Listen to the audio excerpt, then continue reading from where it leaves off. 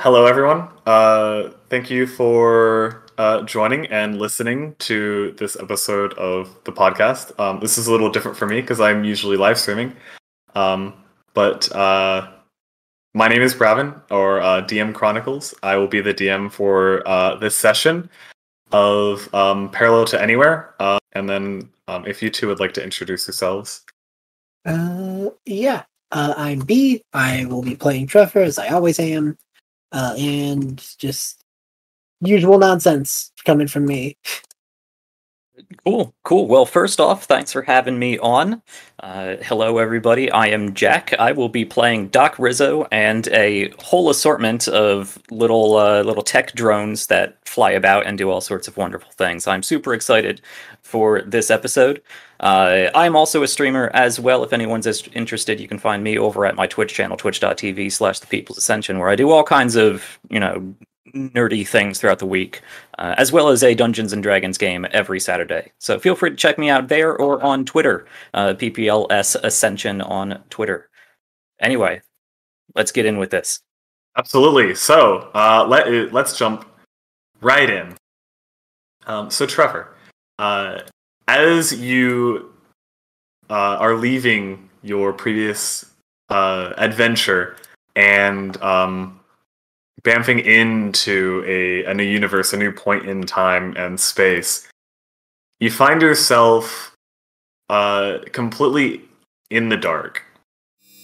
You can feel um, sort of like a hard uh, metal floor beneath your feet, and the ground um, is slowly pitching back and forth gently.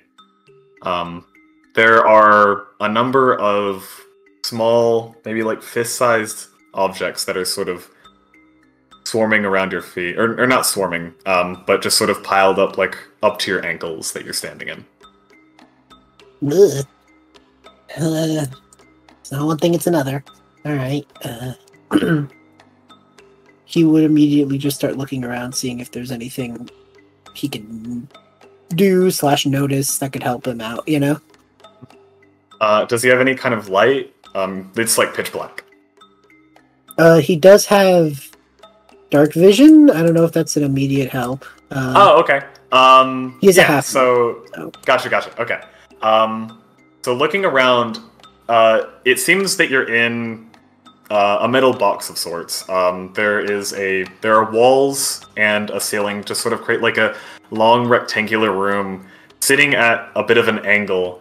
Um, and uh, the floor of uh, this room that you are in is covered in rubber duckies. What? I. Huh. You know, considering where I was last, this is almost less weird. But, you know.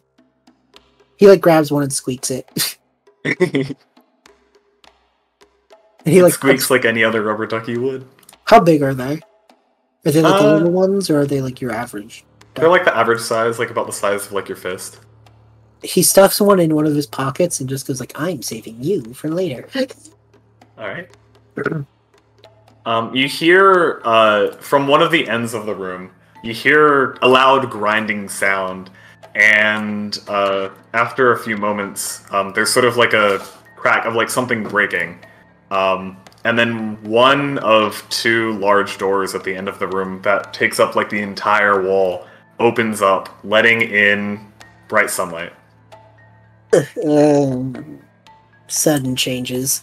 Okay, well, I got what I came here for. And he like squeezes the ducky once more and puts it back in his pocket and just goes, "Time to see what's out there," and just meanders on out. Okay. Um, as you walk out, you see right on the other side, uh, directly outside, uh, there is uh, a person that had just sort of like opened the door there for you. Um, Jack, if you'd like to introduce your character. Uh, yes, Doc Rizzo. Uh, let's see. Let me pull up Doc Rizzo's description because I, I thought I thought you were going to introduce him.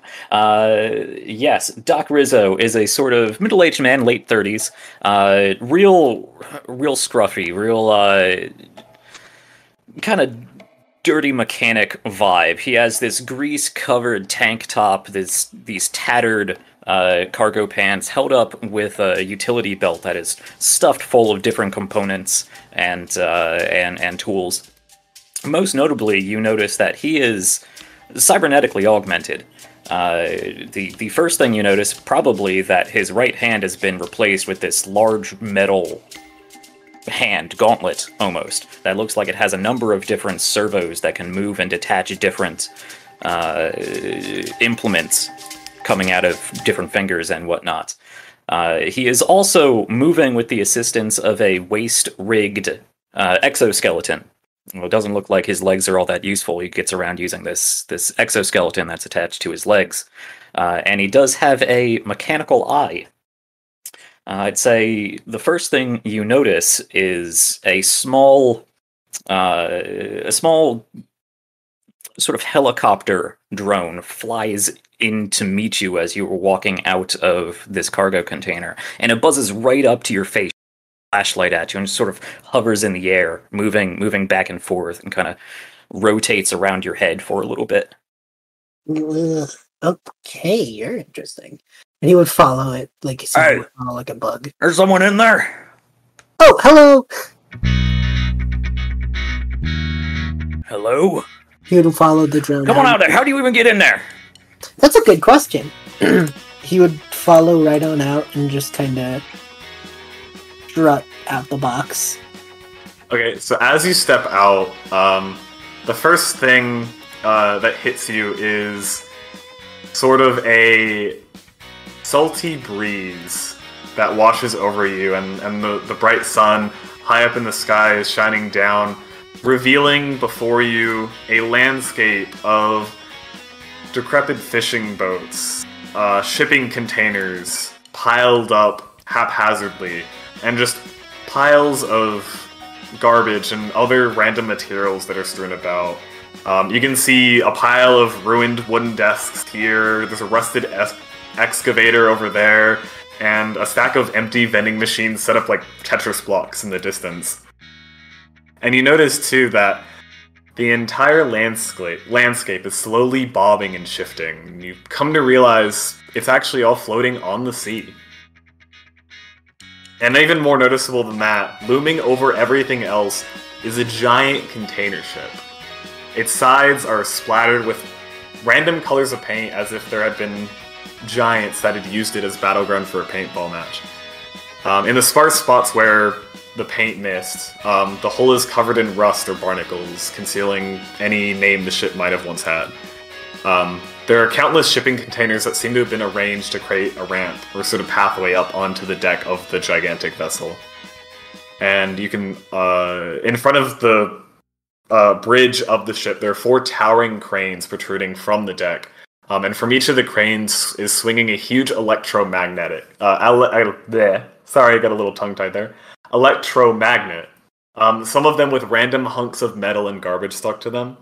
Uh, from the one all the way in the front, uh, from that magnet hangs an entire yacht, um, a smaller one, but still a yacht, suspended above that pathway leading up onto the deck. And the yacht's name is uh, clearly visible on the side of the boat Intrepid. Well, he gives the place a once over and then kind of looks back to to Doc and then looks back at this landscape and goes, "Isn't as high tech as the time and space, but still definitely, I would say almost around my world's tech. Interesting." Huh. Anyway, hi. How are you? What are you on about, kid? Oh, How do you get well- here? Well, um, I could. I You take one of my ducks. he like instantly puts his hand to the pocket with the giant protruding duck silhouette and then like places it back in the box. In fairness, I didn't know they were yours. They're a highly valuable commodity, those ducks. Really? They don't wash up very often. It's taken me a lifetime to collect all those ducks. This is an interesting universe already. Okay. Um You're a strange one, kid. you know, I get that a lot. Hi, my name's Trev. Doc Rizzo's the name. He grabs grabs one hand and slams his big, heavy iron mitt into it and shakes you vigorously. Welcome to my scrapyard. What are you in the business for? You need a new hand? I'm really good at new hands. Clearly. Um no, I'm good with my hands. He kind of like wiggles them both to show that they both function properly. And then just kind of uh I just kind of stumbled in here to be honest with you. Uh don't worry about it too much. Once my watch gets to 100%, I'll be out of here. So, guess I'll just be hanging around until then. Just Right. a pit stop. Uh. Sure. Be careful of all the rust. Ah, no, I'm sure it's fine. Oh, wow, that is a lot. Um, So- as the two of you are talking, uh, Trevor, you feel a tug at. Uh, it almost seems like your watch itself is tugging at your arm, sort of pulling itself up into the air. What? Hey, and you sort of uh, this perfectly circular shadow um, sort of uh, starts to wash over the two of you, and uh, the band of the watch begins to slip, and then suddenly the watch flies straight up, and you look up and you see it smack into the bottom of one of those large electromagnets, now hanging directly overhead. I uh-oh. very quickly grab onto my, my rotocopter and hold it under my arm. Ah, these damn magnets, they're all trying to steal my stuff. you feel it getting pulled upward um, and uh, you grab that one but your uh, your tiny little beetle drone gets sucked up into the magnet as well No, not tack! and then the magnet begins to swing itself away and you see it turn all the way around until it's hanging all the way back by the bridge of the giant container ship We have to get my watch back. I gotta get tack back. Well, then it sounds like we have a mutual, uh, a mutual plan here. If I don't have that when that thing goes to 100%, that thing's gonna vanish and I'll be trapped here. Whatever you say, kid. Uh, long story short, I need it as fast as possible. I don't know how much magic your world has, but more magic around it means it's gonna charge faster. You say a lot of complicated words. I will. Since we're going to be walking and talking, I can definitely give you the summation. But first, how do we get to that giant magnet? Well, we got a bunch of trash and boats to climb over, and it's not always the most simple, safest route. I tend to stick to my junkyard when I can. There's all kinds of mess of trouble out there, so I guess, uh. Stay close, kid.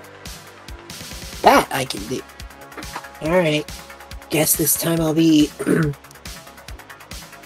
Hopefully, we'll somehow be able to get all this in the show. Anyway. Let's let's get going.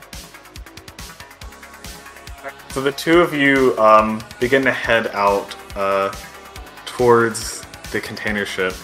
Um, make it's sure to- definitely I make sure to swing by and pick up Bulldog on, on the way, okay. my, my walker drone. He should Um, he should be a little heavy for the magnet to super quickly scoop up, so I'm gonna bring him along. Gotcha. Um, yeah. So walking uh, or traveling toward the ship, um, it, it is definitely a ha- hazard journey, as there isn't really any semblance of a path or a road um, leading up at least to that sort of large ramp in order to get on um, to the deck of the container ship. Um, and it doesn't help that this isn't solid ground either. Everything is slowly sort of shifting and bobbing on the sea as you're uh, traveling across, and sometimes you have to go around a sort of gap uh, where the ocean is exposed in this sort of vast landscape of garbage and random trash that washed up from the ocean.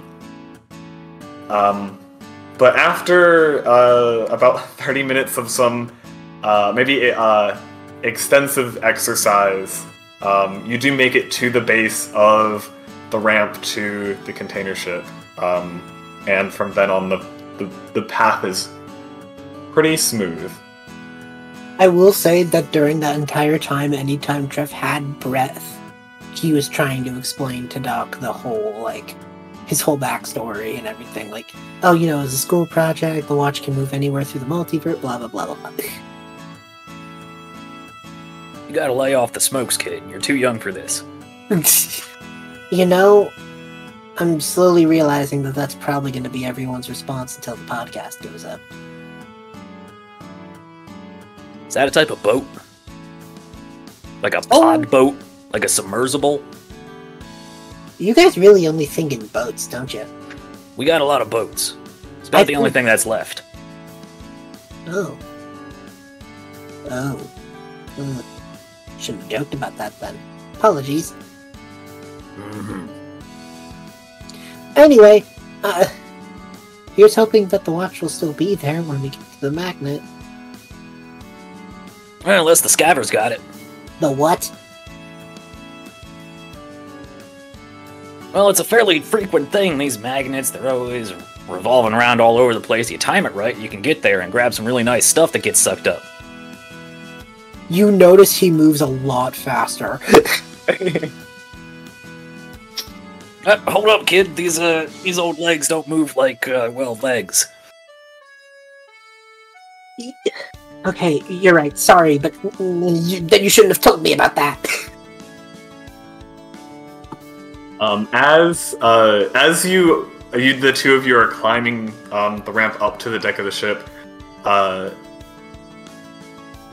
you end up passing by other people um, that are traveling down. Um, and although it may have been hard to tell from a distance, it seems that this is actually a pretty um, well-traveled road, and there are um, all kinds of people. Uh, you notice that not two faces are the same um, in this place. Um, you see humans and elves, dwarves and orcs, goblins and goliaths. And when you get up to the top of the ramp, to your surprise, it seems that there's almost sort of a ramshackle, put together city set up onto the deck of this container ship that stretches all the way across from one end to the other. You watch like the light leave Trev's eyes as he realizes how many people could have gotten the watch by this point. This is bad. You can see um, the magnet that took your watch um, is sitting still, um, having swung uh, back up and over the bridge all the way at the back of the ship on the other side of the city. Just the defeated, like hands on knees, bent over, very tired kind of position. Then he catches his breath for a second, just says, "It's on the other end of this town, Doc. We'll get your your drone and my watch back in no time." Oh, All right, well, uh, let's go, kid. Stay close. You're a little weird. You know, we don't need anyone picking you up for anything. what do you mean? You know what? Better that I don't ask. Let's go.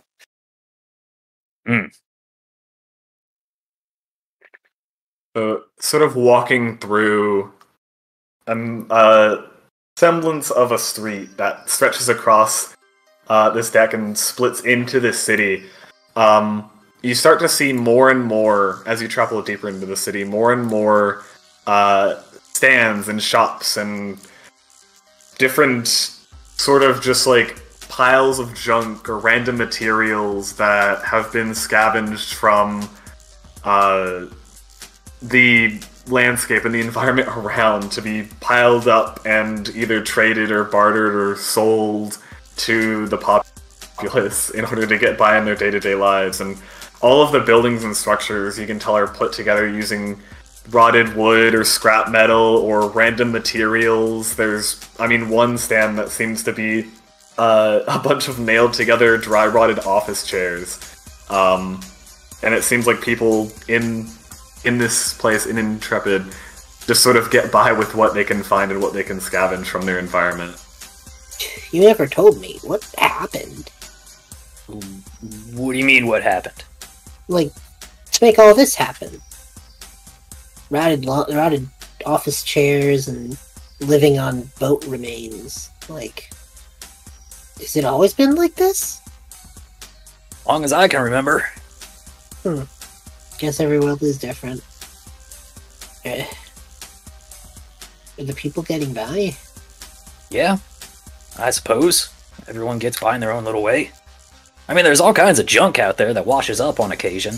Kind of a, a little competition to see what you can you can grab before somebody else does. Make something out of it, trade it.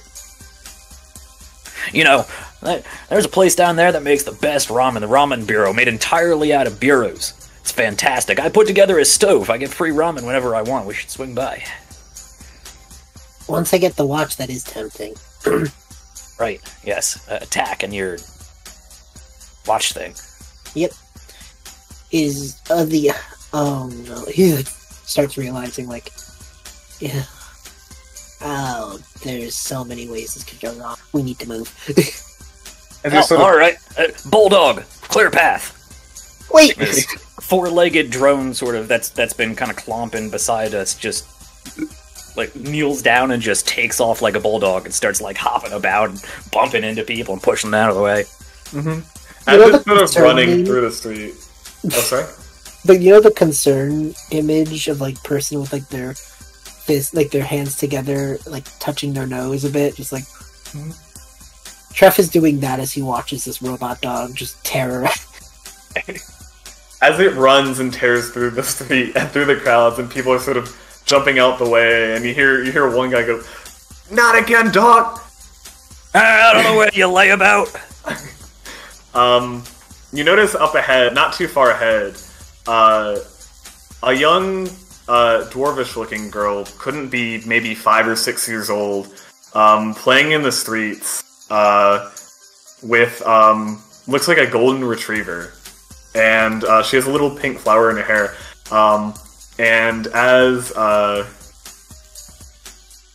as your uh, sort of roboted dog runs through the streets, the golden retriever immediately takes notice and starts chasing after it. And then the little girl running after as well. Oh, this is a mess. Okay.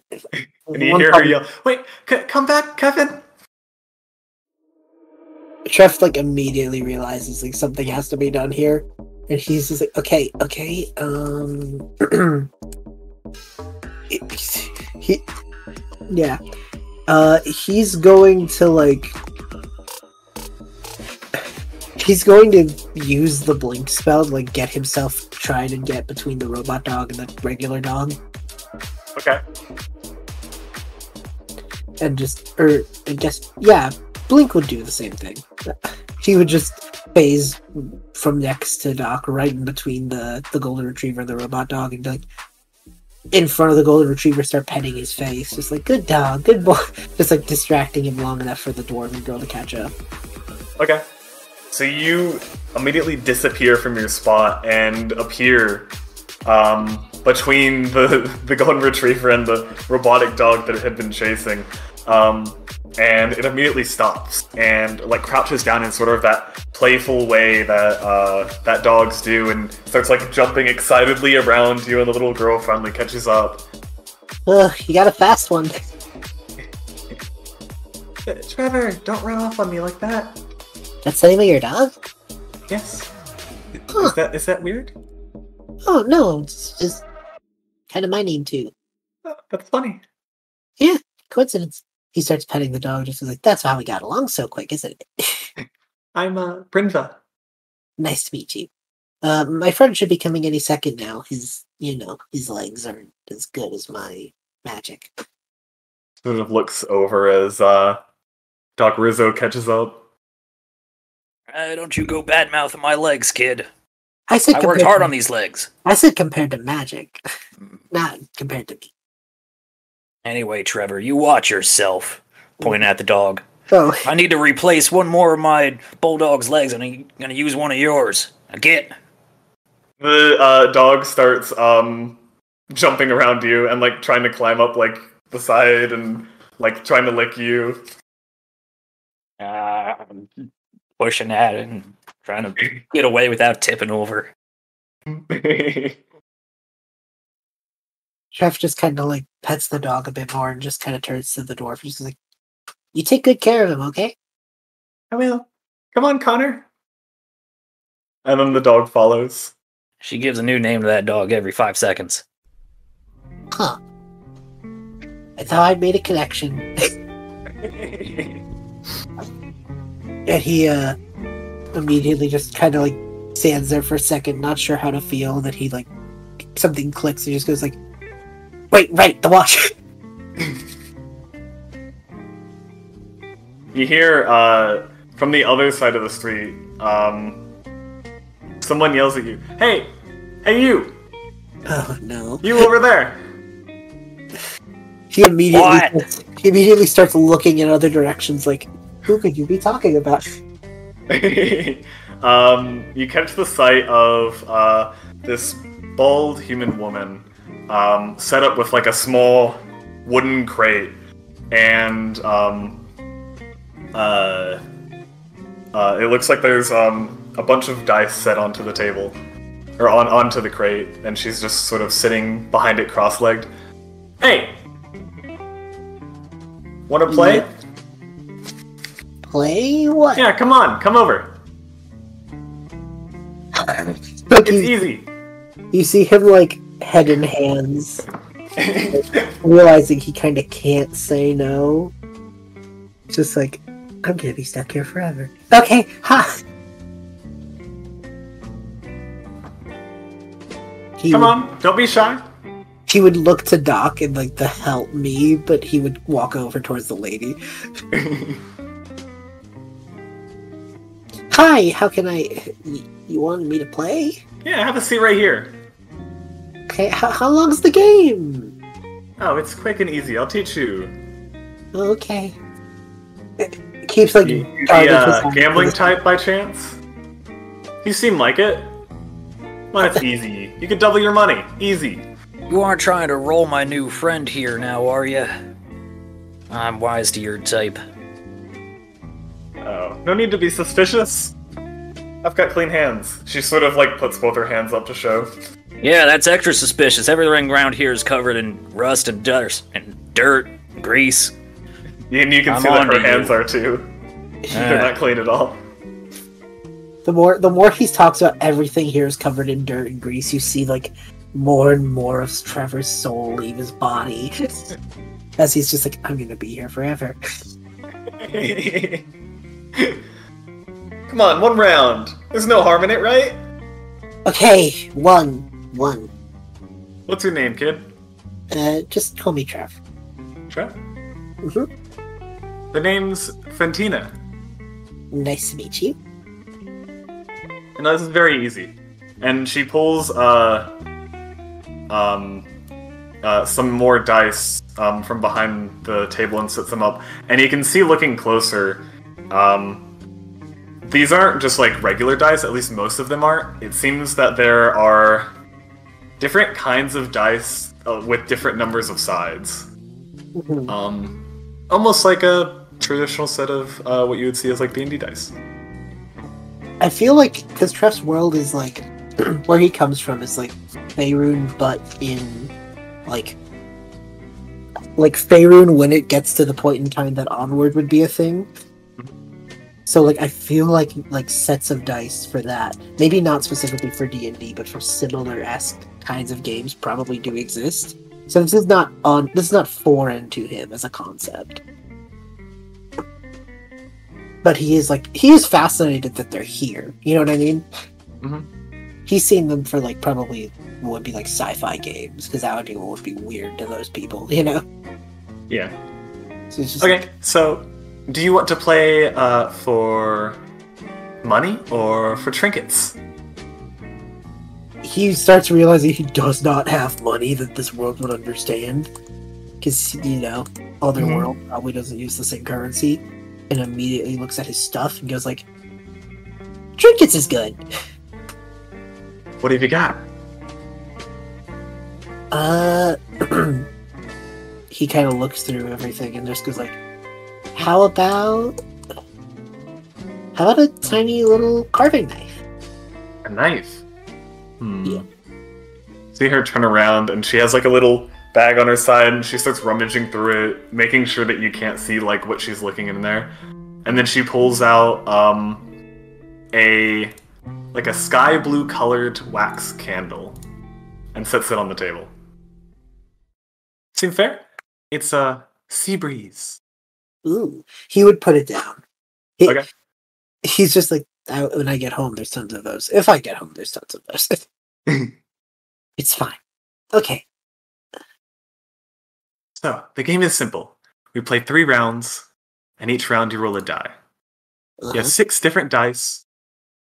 In each round, in secret, you choose which one you want to roll. Whoever rolls the lower number each round wins. And if you win, you get a number of points equal to how many sides that die has. Oh, Make sense? so you want to roll low on a big dice? Correct. Exactly. Got it. And you see him like kind of get into it in his head and thinking this through. hmm Okay. Sound fair? Yep. All right. Um, and so there is in this set, uh, there is a D4, a D6, a D8, a D10, a D12, and a D20. Gotcha. So basically, a standard set minus the D100. Yep. Okay. All right, three rounds. Are you ready? Yep. Go ahead and pick your die, and you can roll. Okay. What'd you get? Eight. Eight. Ooh, I rolled a ten. That's lucky. See, I told you you'd be good at this. Okay. Uh, Which die did you use? eight. 12? Alright, that's 12 points to you. Okay. Oh, and one last thing. Yeah. You can't reuse dice. Okay. So you watch him grab the D12 and like plunk it back into the pile. Mhm. Okay. Alright, let's try this again. Mhm. What'd you get? You're not gonna believe it, but I actually got a one. A one! On which die? Six. Hmm. You make a. You're not making this easy for me. We've got one more round. Yep. He plunks the one into the pile again. Mm-hmm. Alright, one last roll. Yep. Ready when you are. Alright, what is it? 16. 16? Ooh, that's a shame. I rolled a 10 on a d20. Uh, so that was 18 points that you had, and she got. Yep. and she got 20. You see her smugly pick up the carving knife and add it to her bag. That's okay. You had some good luck to start. Surely it'll hold up for a second game. Uh, Come on, it's easy. be real fun, but I, I do. You know what? I'll, I'll come back in like under 10 minutes. I promise. I just have somewhere I gotta be. How about you, mister? I don't know, lady. That was awfully convenient there right at the end. Oh, it was pure luck, nothing else. Hmm. Come on, I'm sure I have something that'll interest you. How about you see her rummage around in her bag again, uh, and she pulls out a small, looks like a children's toy crossbow with a few rubber bolts. Does this suit your fancy? Perhaps. Hmm. I could turn that into a grapple and mount it on Bulldog. So what do you say? Surely you've got something interesting. Ah, all right, lady. You watch as Truck Fine. just kind of like starts to do the Pink Panther sneak away as this. yeah. Uh, okay, so I'm gonna I'm gonna reach into my utility belt and start pulling out scraps of wire and metal, little stuff, and I'm gonna uh, use my use my tinkering real quick and make myself. Uh, let's see, just uh, what can I do here? Uh, yeah, I'm, I'm just I'm just gonna make myself like a like a blowhorn. okay. It's handy there. Just kind of press a button and it goes the oh. Alright, I accept that. Here's your dice. okay. Pick your die and go ahead and roll. See whose luck is fancier. Okay. Uh, I'll roll a d20 to start. Okay. I got a nine. Ooh, that's too bad. I got a four on a d8. Alright, fine. Roll again. Uh, no, the luck's not with me tonight. That's an 8 on a 12. Ooh, that's a three on a d6. That puts me up to 14 points. One last one? Well, fine. Uh, I'm gonna I'm gonna pick up the D4, and I'm gonna Okay. grip it in my hand, and I'm going to turn the because I can I can do this with my magical tinkering. On one of the faces of the D4, I'm gonna turn the four into a side that says 27. Okay. Which side do you turn into 27? The number four, which what would Oh, be a four, is number now a 27. Gotcha, okay. No, I didn't get. I got a two. Actually, I would have Oh. wanted to roll low, so that didn't that wouldn't work anyway. Oh well. I thought you were going to call it like a 27 sided die and Yeah. count it for Yeah. 27 points. Hmm. Well, it looks like we tied on that one. What do you say we break the tie with the d20? Winner takes all. That's suspiciously generous of you, seeing as you're clearly winning. But sure! I roll it vigorously Okay. and deflate as it rolls a 14. Ooh, a 13. That's unfortunate. And then she reaches over and takes the horn, toots it a couple times. Bwah, bwah, bwah, bwah. Well, it Well, was a that was pleasure fun, playing kid. with Let's you. get out of here. Wait, one more round. I'm, I'm gonna, as as I'm walking away, I pull out some more scrap and I make another blowhorn that just goes, no, no, no, no! Wait, Okay. Just like Tref just kind of goes like, wait. He puts one finger up and just goes, "We're on our way out, but I'm a little worried about something, and I'm hesitant to ask. But let's. I want to figure something out. I'll play you when I come back. Uh, but tell you what, just to prove that I'll play with you when you come when I come back. Uh, what's the best thing you think you got? Hmm. I'm a big fan of the color green. Green, huh? Ooh, I think I have just the thing. And she digs back into her bag for a few minutes.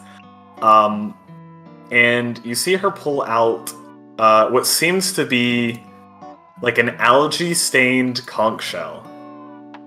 Completely pristine, not cracked or chipped, but almost like a slimy green color. visible relief because you know what he was thinking could have been in there uh and he just kind of goes oh okay uh and he would put he would put an ounce of ink like in a bottle a bottle of ink on the table Okay. and just kind of be like put that on hold if i'm not back for it in the hour it's yours Hmm. She sort of picks it up and holds it up, looks at it real close. Interesting. Some fine stuff. Okay, I'll take you up on that.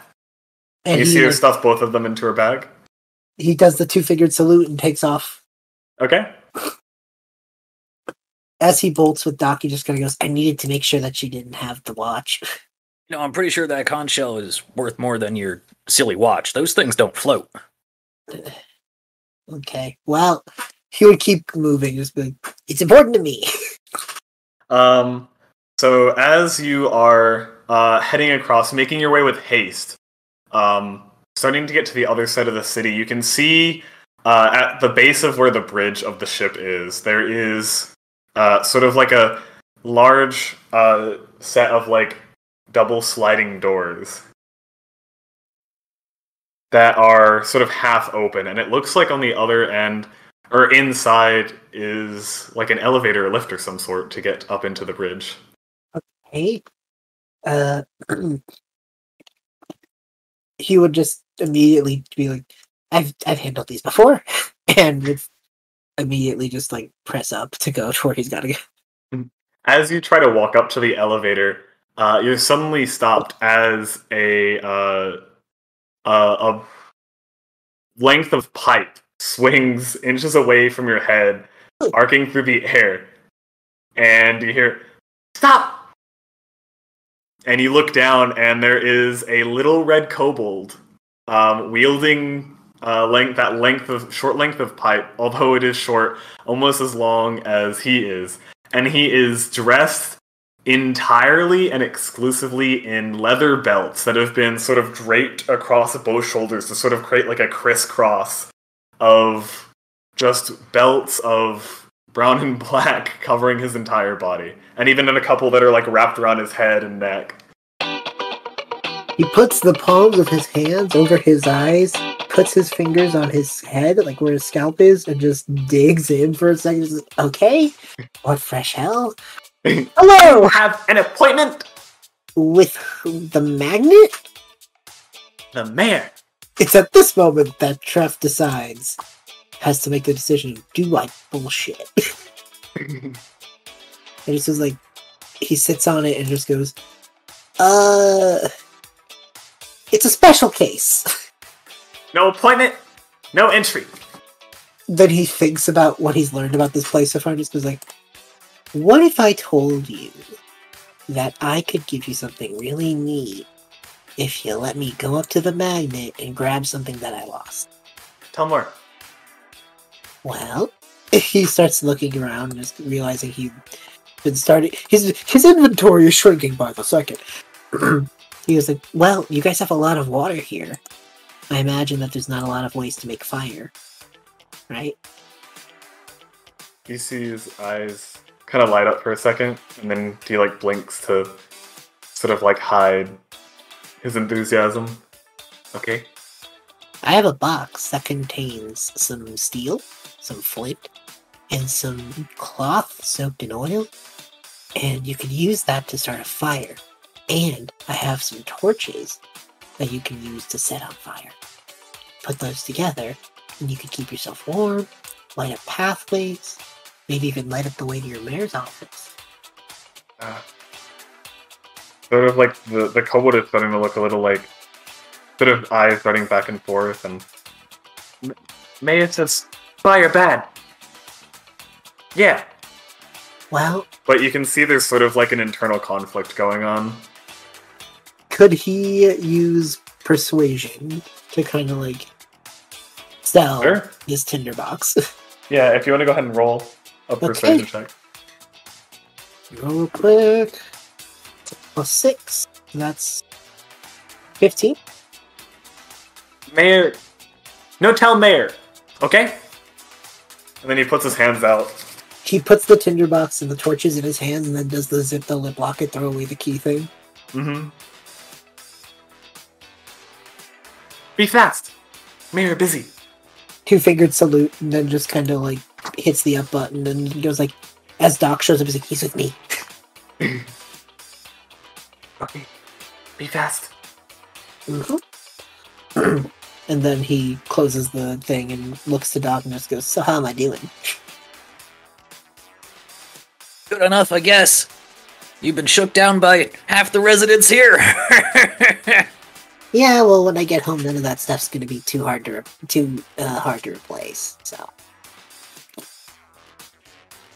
Uh, as you hit the button to go to to, to ta- have the elevator take you up, uh, it begins to move up slowly, and there's sort of like that soft, like generic elevator music playing as the two of you are slowly being elevated.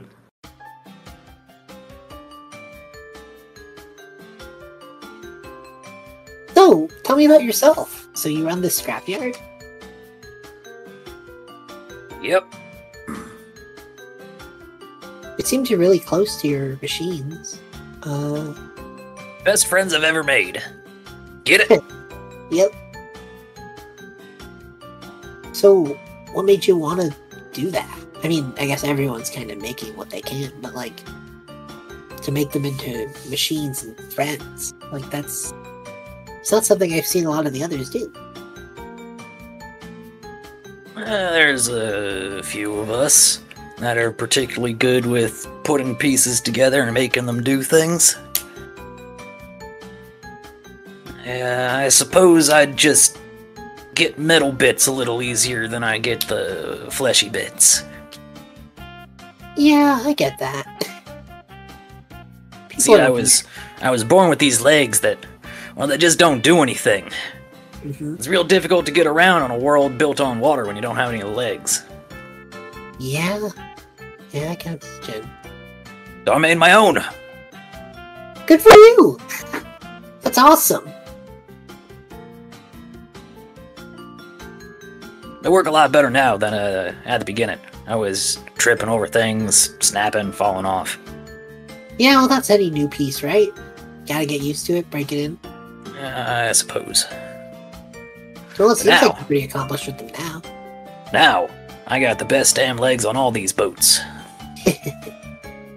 I believe it. So is everyone here like trying to wipe trinkets off people? Well, yeah, I suppose. What else is there to do? I mean, you got something cool, and I want it. You know, fair enough. How the world works. You gotta learn that soon enough, kid, or you're uh, gonna wind up with empty pockets. Keep giving away all your stuff. Yeah, well, this time around, I'm willing to throw caution to the wind for the sake of getting that watch back. You know, I could make you a new watch. They're not that difficult. It's different. It's something from my home, and it does more than tell time, I'll tell you that. It's what lets me go from place to place. Think like the magic thing I pull to get in front of the dog, but like a lot bigger. I thought I just blacked out for a second. No, I I can do that. Move around, move from. I wasn't even born here. Well, I guess I think the fashion choice kind of gives that away. You've definitely noticed that Trevor has much less worn clothing than anyone else. Mm. So, what boat did you take? Or did you build a raft? You know, I once heard somebody somebody flew in on a on a sky ship. That was exciting. Think Of like course, it crashed, Right. but it was still exciting. Well, the watch lets me move. It like acts. It can send me instantly from one spot to another. Teleportation, you know. But No. like, No, I don't. uh, again, like what I did to the dog to get in front of the dog. Got from one place and instantly showed up somewhere else. That thing runs on the power source that when it gets to full charge, sends itself and whatever is wearing it somewhere else. Hmm. So that's how I've been going from place to place. And I have a really good friend back where I come from, and she's probably more like you, very good at metal bits. And she's trying to figure out how to get it to bring me back home.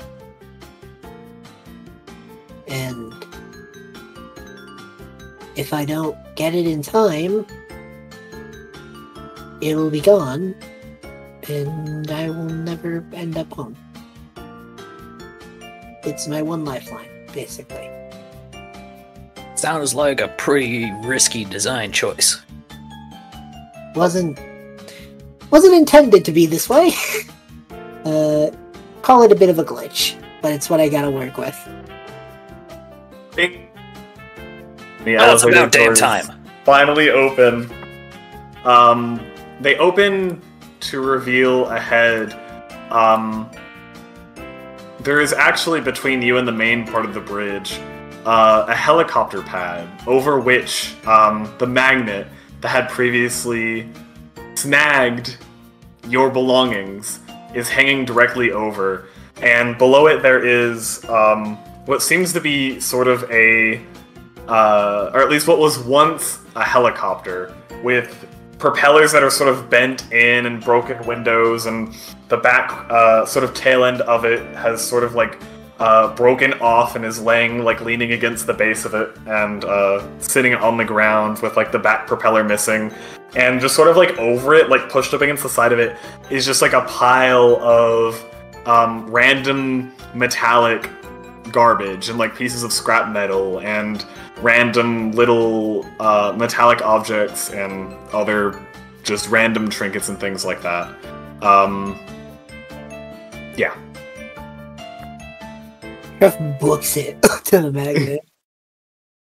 Looking up at the magnet, um, it seems that it had been turned off, and there's not currently anything attached to it anymore. Is the pile like directly under it?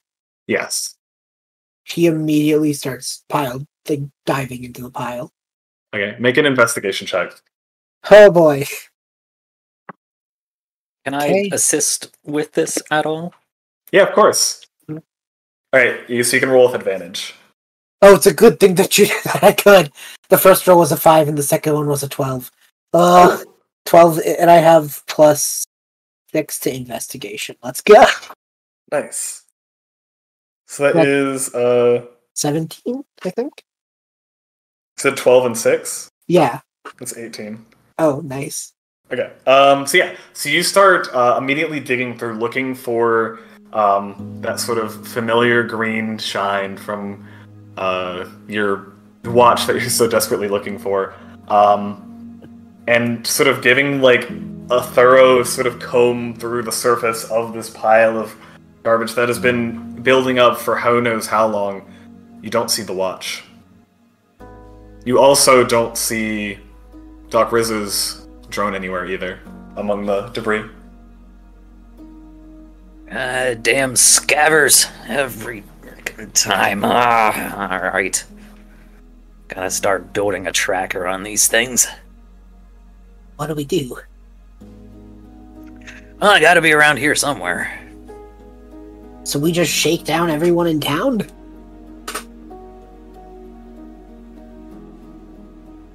I mean, I could just build myself a new, uh, a new rotocopter, but I don't think we got the parts to make some weird magical time shifter doohickey.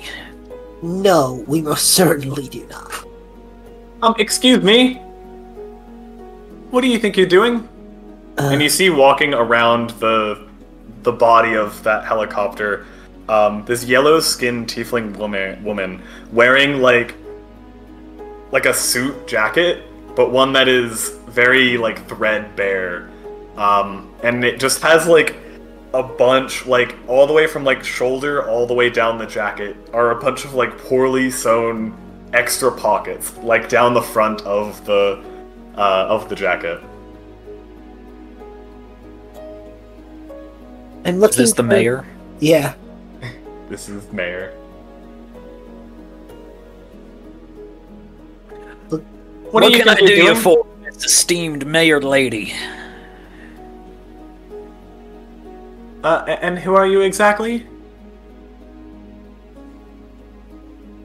I'm taken aback, miss. I'm Doc Rizzo.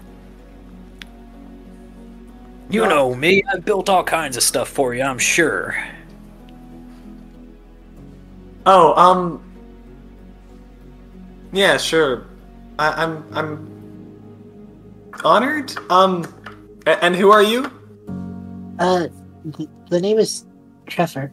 Uh, I'm looking for a watch. He describes it. Um, and looking, uh, as she has sort of like walked around and looking at her, um, you begin to notice through uh, the uh, the pretty worn front of the jacket, in one of the many pockets, there is a familiar but faint green glow emanating from within. A, a watch. I'm sorry. There are many watches around here. Um, but uh, if you have come for something, I hope you have brought me something in return. Surely you know our way of life. What are you in the market for? Well, I'm into all sorts of trinkets and baubles, and oh, I especially love shiny things.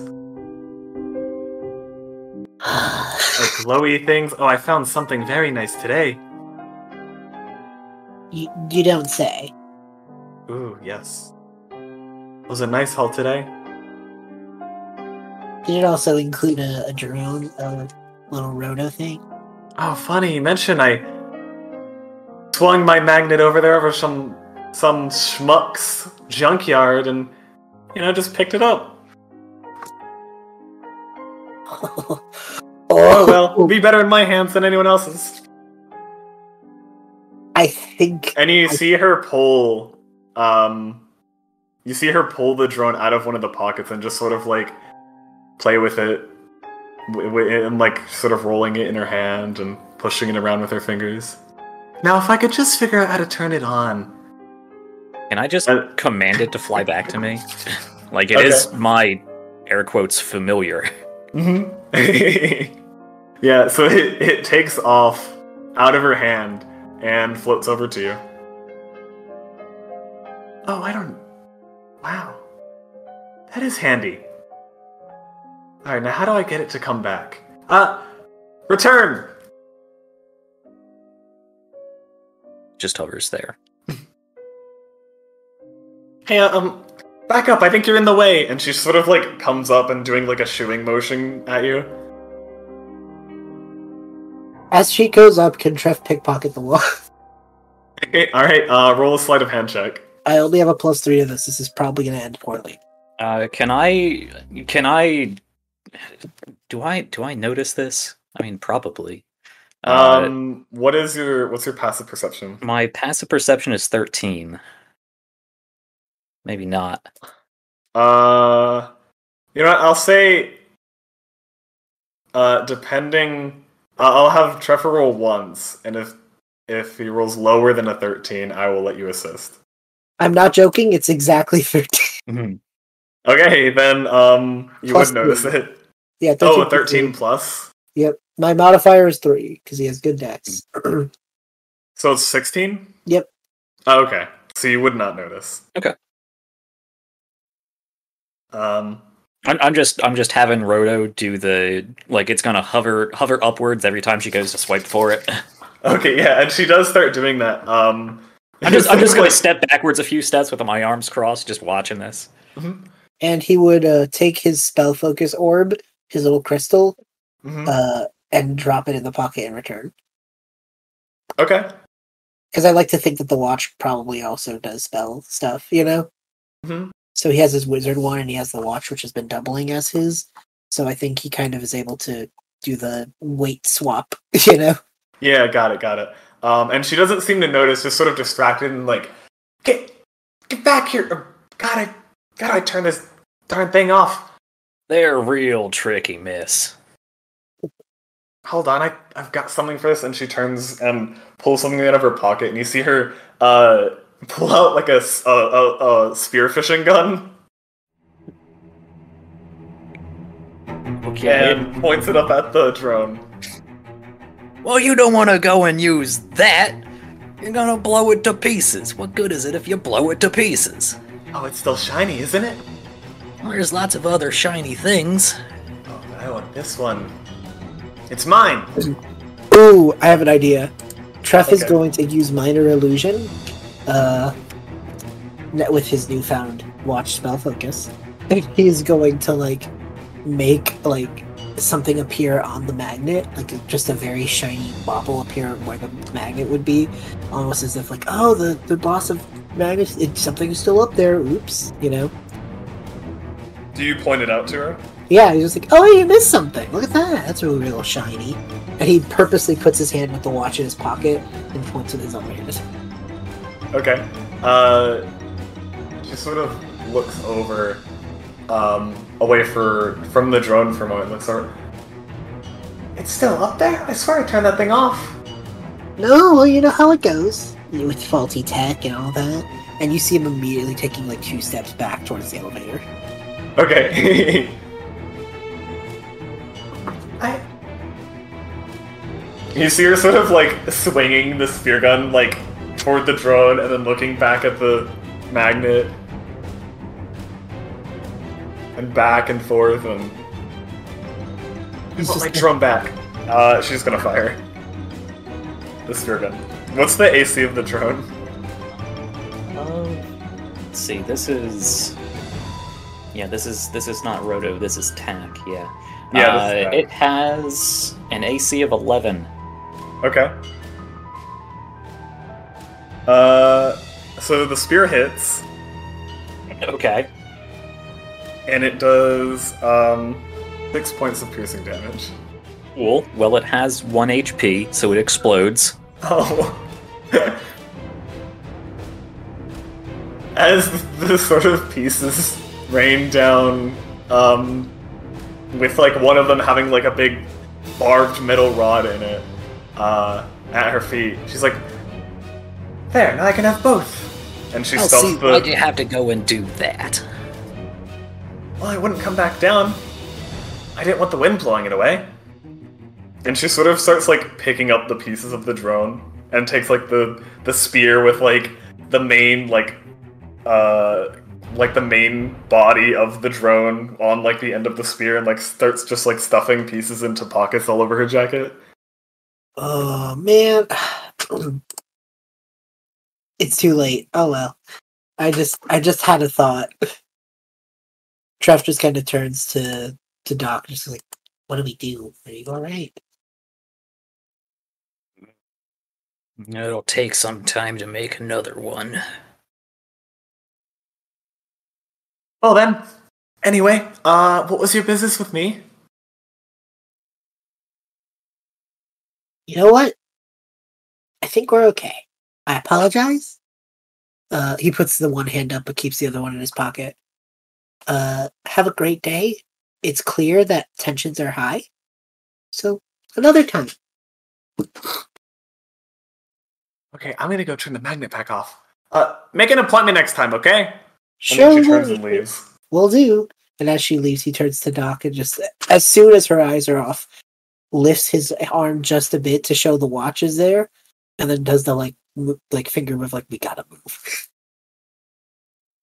Have you put it back on? Uh, yes. Okay. I'll meet you back down at the bottom of the elevator. You go on ahead. Okay. And I lift up my big metal arm and I press a few buttons here and turn a few dials and turn invisible.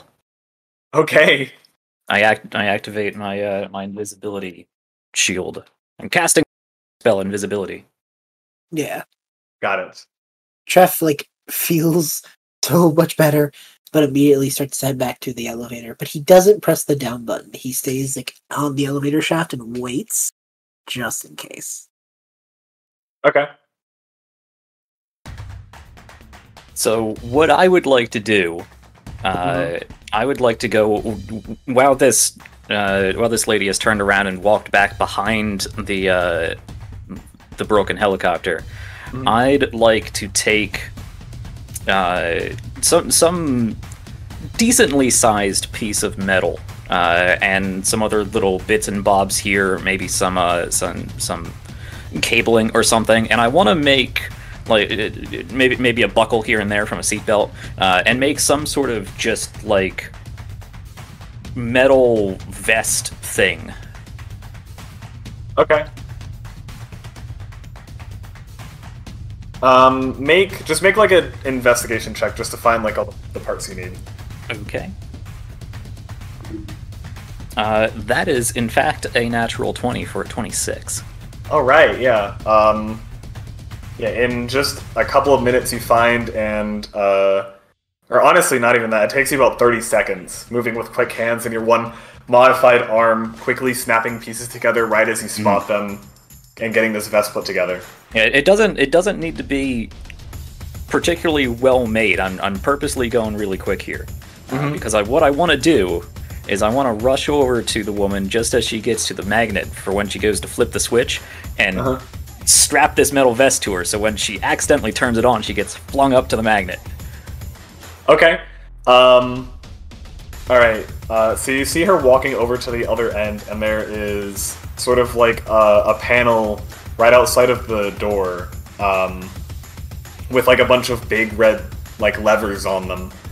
Um, and uh, as you're approaching to uh, to try to slap this uh, metal vest on her, roll a stealth check with advantage. Uh, can I actually do this a different way? I'd like to Okay. play around with my uh, exo legs and plug in some extra components here and supercharge them with Longstrider. And I would just like to blitz her. Still invisible because Longstrider is not a concentration spell. Of course, you'd see this floating metal vest thing, but I would just want to blitz at her faster than she can move. Okay. Um let's just do uh I'll do do a general dexterity check with advantage. Since you have the supercharged legs. Sure, sure, sure. Uh, that was an 11 or a 19 for a total of 21.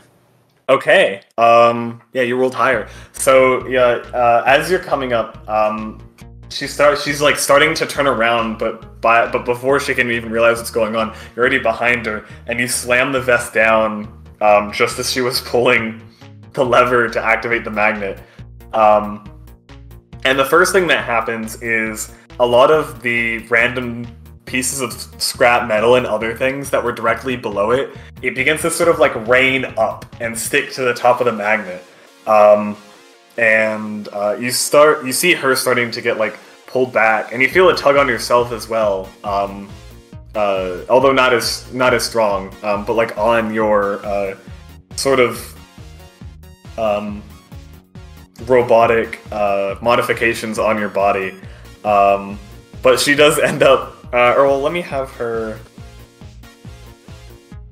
Okay, that's not high enough. She does end up uh, trying to grasp and like hold on to like one of the levers on the panel, but her hand slips and she ends up getting pulled up to the air, moving faster as she gets closer to the magnet, and then slamming into the back of it, uh, sort of getting mixed in with the other pieces of random junk and stuff that got stuck up there.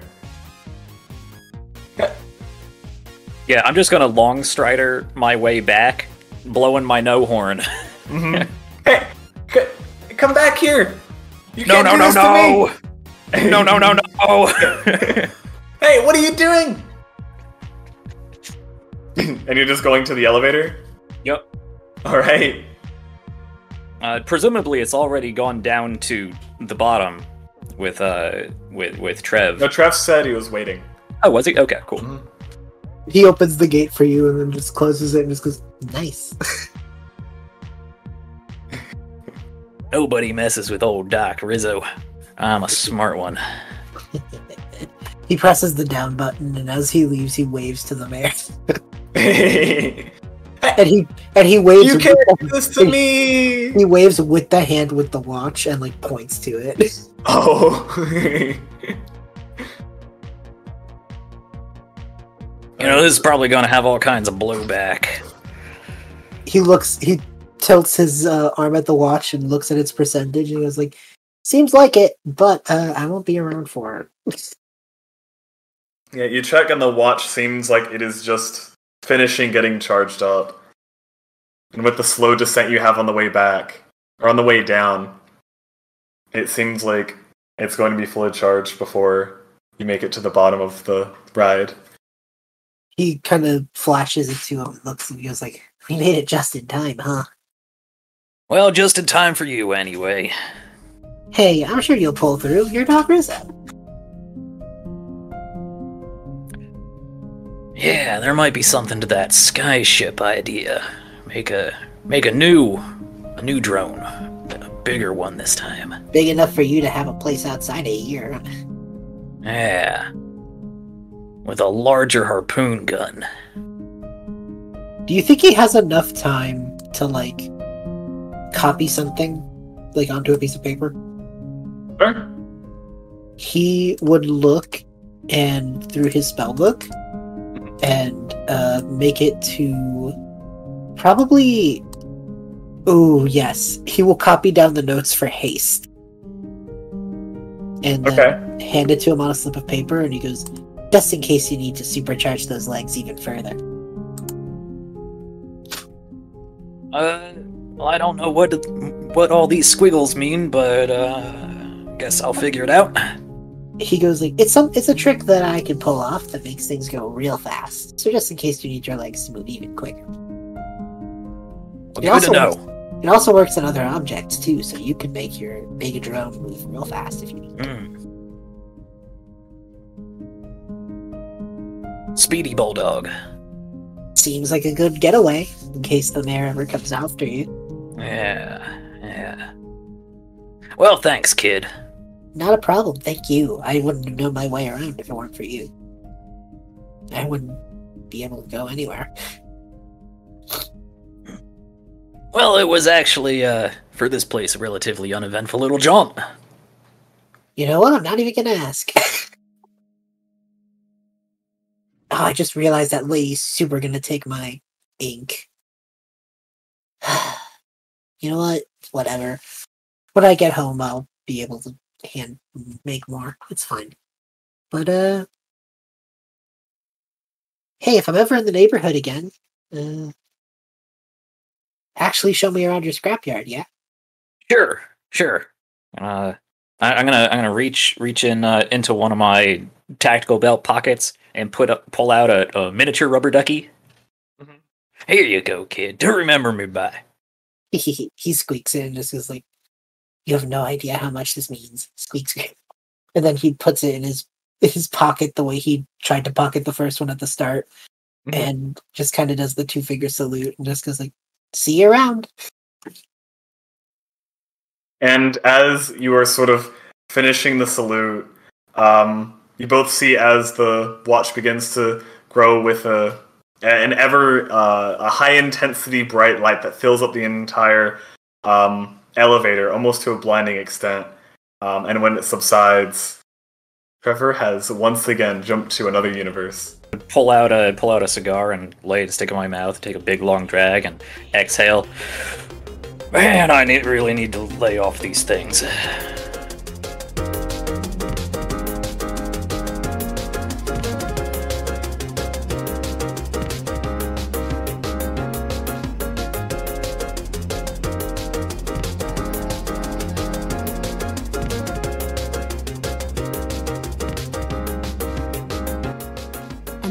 Concludes our show for this evening. We hope you enjoyed episode 7 City Electric. Tonight's story was told by the following incredibly talented people. Our game was run by Bravin at DM Chronicles. Doc Rizzo was played by Jack at People's Ascension. Rahzra, voiced by Midnight Blue.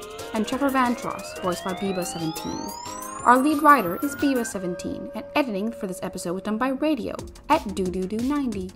Our theme song was composed by Zach at Schedule for Launch. You can learn more about the world of DM Chronicles on Twitter at DM Chronicles and catch them live on Twitch at twitch.tv slash DM Chronicles. And if you would like to stay up to date on all things Parallel to Anywhere, you can follow us on Twitter at P2Anywhere and join our Discord to be a part of our community. Please make sure to like, share, and subscribe on YouTube or rate us 5 stars on Spotify. Thank you so much for listening. We hope to see you again soon. Whenever that may be.